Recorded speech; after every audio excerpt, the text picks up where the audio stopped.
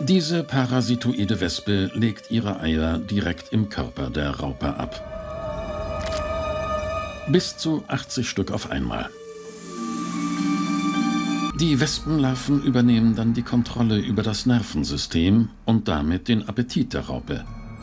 Das Tier frisst anderthalbmal so viel wie normalerweise, bis irgendwann für die Larven die Zeit kommt, ihren Wirt zu verlassen.